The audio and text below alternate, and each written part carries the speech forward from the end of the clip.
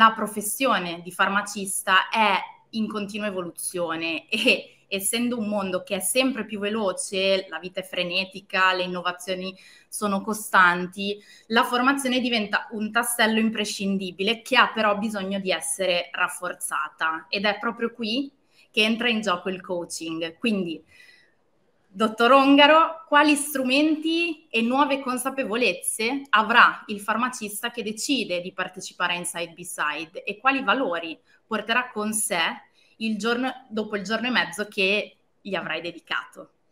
Beh, sai, io credo che ci sia un punto di partenza su cui ragionare. Insomma, tutti l'abbiamo sperimentato nella nostra vita professionale, che è lo schiacciamento della dimensione personale a favore della dimensione professionale. È una cosa che tutti tendiamo a fare, cioè quando il mestiere, il lavoro ehm, ci richiede qualcosa in più, quando le esigenze aumentano, quando la pressione aumenta, quello che viene schiacciato è la dimensione personale e quindi si comincia a tagliare sul tempo per se stessi, sul tempo per la propria salute, sul tempo per la famiglia, sul tempo per gli affetti, sul tempo per gli hobby. No?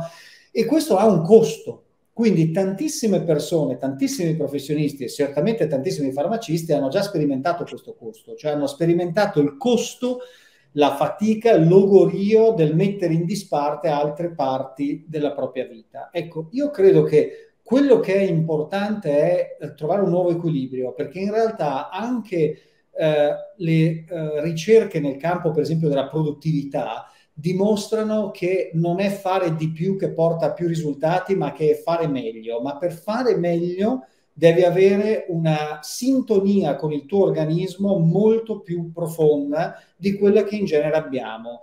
Faccio l'esempio, senza voler dire che dobbiamo trasformare il farmacista in un atleta, ma l'esempio è l'atleta d'elite, cioè l'atleta d'elite che sa che quando va in gara riesce a dare il massimo perché è in totale sintonia mente e corpo, perché si conosce molto bene, perché è sensibile riguardo alle proprie capacità di quella giornata, cosa che anche noi mettiamo in disparte, cioè noi anche quando non ci sentiamo bene chiudiamo un occhio, tiriamo la cinghia, andiamo avanti no? e, e, arriviamo magari distrutti alla sera, eh, ma non ci soffermiamo a capire cosa potrei fare per il mio organismo, per la mia mente, perché funzioni meglio.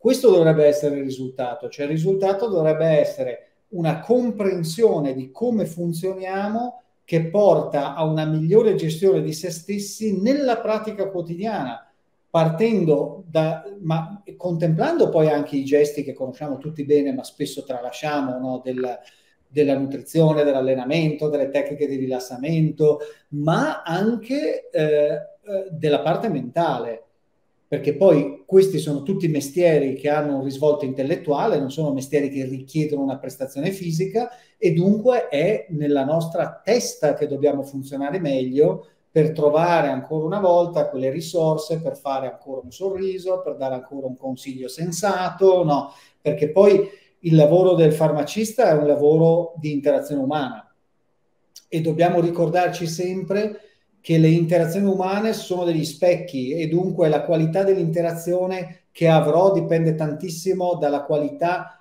di, di come io entrerò in quella relazione, no? Ma per entrare in quella relazione con la qualità giusta devo star bene, devo star bene con me stesso, non devo essere teso, non devo essere sotto stress, non devo essere troppo affaticato da un punto di vista mentale. Quindi questo è un po' quello che mi piacerebbe portare a chi parteciperà, no? il tornare dopo questo corso al proprio lavoro con dei presupposti diversi, conoscendosi più a fondo e riuscendo quindi a dare, eh, a fare meglio, a dare di più consumando meno. Questo. Che sicuramente non è, non è cosa da tutti i giorni, anche perché poi la relazione oggi è centrale nella vita delle persone e a maggior ragione nella vita di un farmacista che ha tutti i giorni a che fare con il pubblico. Assolutamente, Assolutamente e, e, e, appunto diciamo viene da, da pensare che poi alla fine la maggior parte di noi provano a dare il massimo sempre. Io parto da questo presupposto, sono una persona tendenzialmente ottimista e dico, secondo me le persone provano a fare il loro meglio, provano a fare il loro massimo, no? Ma è il costo di questo che viene sottovalutato, è il costo. E siccome la vita di tutti noi non è più uno sprint ma è una maratona, dobbiamo ricordarci di questo costo, perché io posso arrivare a dare il massimo, ma andando durante la giornata a 2000 giri e quindi consumando poco, arrivando comunque eh, lucido alla fine della serata, ehm, oppure posso invece arrivare a dare il massimo, ma stando a 8000 giri e logorando in maniera eh, molto forte no, il, mio, il mio organismo. Quindi è un po' questo che dobbiamo ricordarci.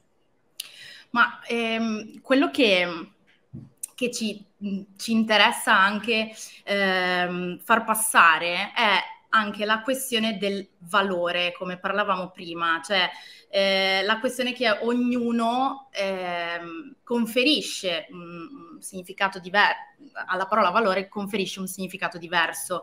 Eh, esistono infatti anche cose costose e invece cose di valore. Quindi come possiamo riconoscere un percorso di valore? Cioè Inside Beside è un percorso di valore? Ma io credo, credo, sicuramente di sì, ma credo che la variabile principale sia proprio quella di capire che cosa ti arricchisce.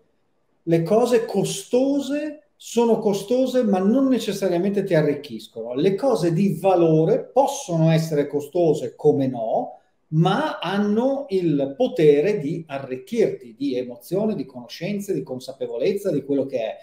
Ecco, mi, mi, piace pensare che questo percorso sia un percorso di valore perché è un percorso per se stessi, è un percorso per stare meglio con se stessi, è un percorso per conoscersi meglio.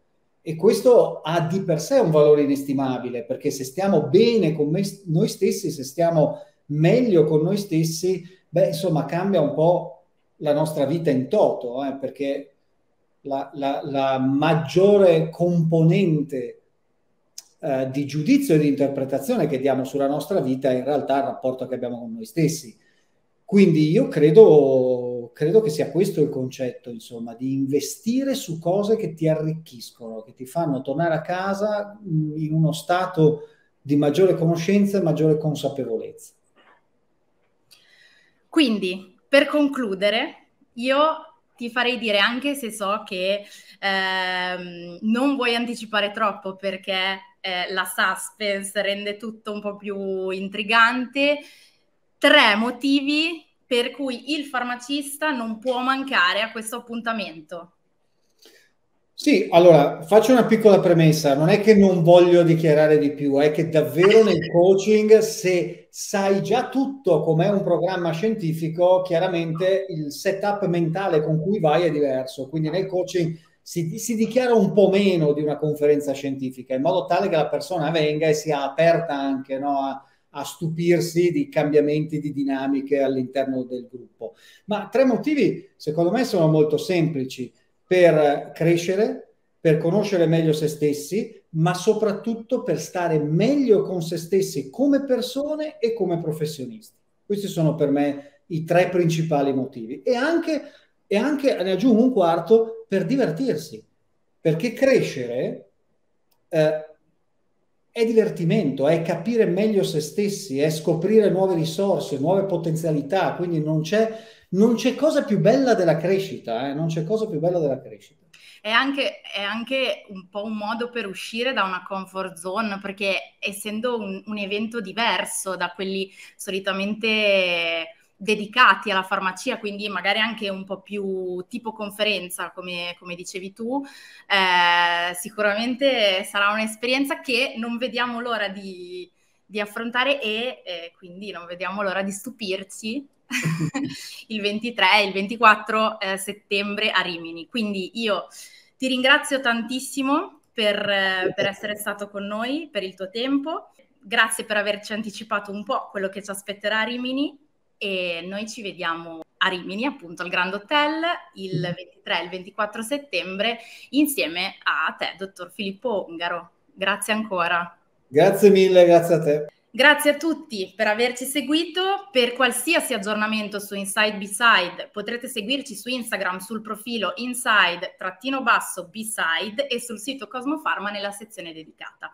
È ancora attiva la super promo per acquistare il biglietto a una tariffa agevolata che però sarà valida fino al 30 giugno.